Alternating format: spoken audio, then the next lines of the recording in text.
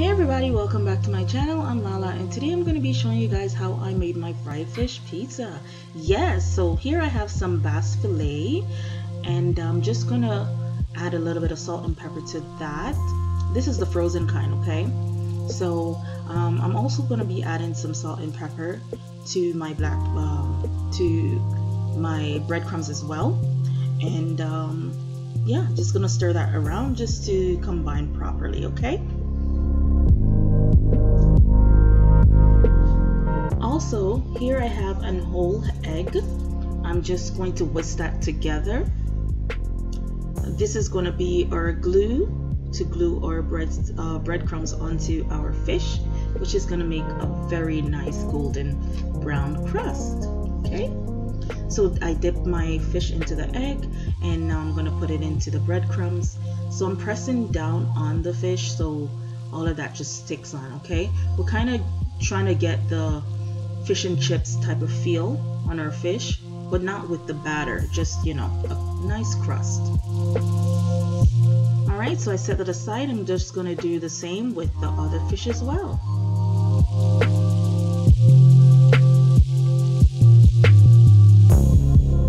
Just make sure to press that down to, to get all those wet spots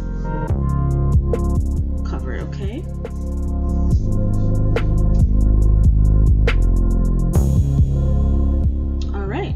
So now here I have my oil preheated on medium heat.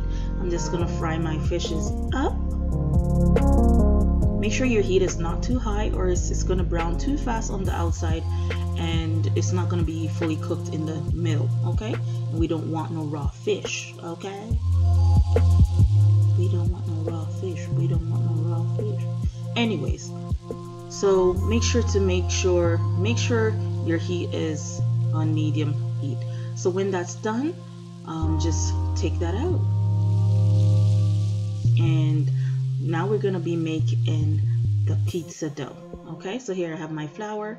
I'm adding some salt. I'm actually using a different recipe for, other than my 15 minute um, pizza dough. So yeah, so I'll list that in the description box below.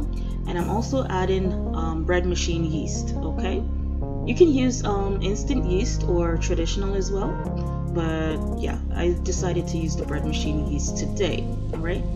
So I've added that and now I'm mixing it together so it combines properly and then I'm gonna be adding some warm water okay? Make sure your water is warm. I'm not into the whole um, it has to be a certain degree type of thing. No I make sure it's not too hot or not too cold it's just right okay so I added that to my flour. And then I'm just gonna make it mix until you know it combines properly. So it's a bit sticky. I'm adding a little bit more flour. I actually measured out my flour. I just added it a little bit by bit. So you know because sometimes the temperature in your house will you know either you're gonna need more flour or you're gonna need less flour. So I did measure out according to the recipe that I got off Pinterest. So I usually use the same amount every time, I would say. So yeah, I'm just adding it bit by bit. So when it's ready, you'll know when it's ready after after the the dough um, no longer sticks to the the bowl, but um, it's tacky, not sticky. You know what I mean? You could tap it and it's like tacky, but it won't stick to your fingers type of thing. So here I have my bowl greased and I'm just going to put my dough in here and I'm just going to turn it so it's, it's coated in the, the oil and then I'm going to cover it and pop it in my microwave. Okay, so here let's um, do some sauteing. Okay, so we're gonna be sauteing some vegetables here, and um, I'm using some onions. I'm using red and uh, green bell peppers just for pop of color. It doesn't really matter which bell pepper you use, okay? I just like the colors together. So yeah, that's what I'm using. So I'm just gonna um, slice my my bell pepper like you know just like you see me do it the long way and um, but you can do you can chop it up into however like you know smaller pieces if that's your thing do your thing hey you know what i mean? So yeah so here i have my pan preheating and i added a little bit of butter. If you've never tried this method with the butter you should y'all oh my gosh. It gives the vegetables a good taste. Um, i don't use oil when i'm sauteing vegetables. I just use uh, like a tablespoon of butter and I'm good to go. Okay. Yeah, so I'm just gonna saute that until my onions are um, translucent. So I don't want this to be so soft. I want it to be crispy and soft at the same time. You know what I mean? All right, so now my dough uh, has risen. I'm, I actually cut that in two. It's good enough for two um, medium-sized pizza and um, I would say 12-inch pizzas, right?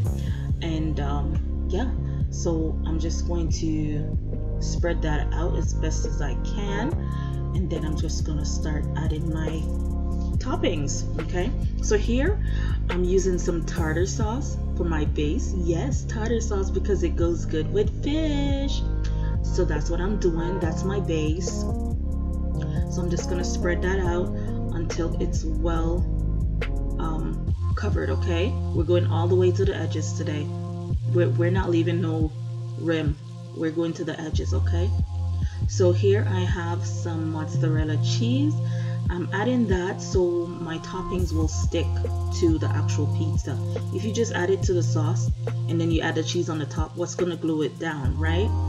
So that's what I'm doing. So here I'm just um, adding my sauteed vegetables and I'm just gonna spread it out a little bit and um, yeah. Guys oh my gosh you don't even know. My mouth is watering because this pizza is amazing. It's flavorful. It's not overbearing or whatever. You know what i mean? It's not salty. It's not it's just right. And so here I'm, i just i'm just breaking my fishes up. It doesn't have to be in any particular size or whatever. However you want it that's how you do it okay? So i'm just breaking it up with my hand and yeah and then I'm adding a little bit more mozzarella cheese on top just to glue that together when I pop it in the oven. And there you have it. Anyways you guys thank you so much for watching this video. I hope you remember to like share and subscribe. And I will see you in the next one. Thank you and bye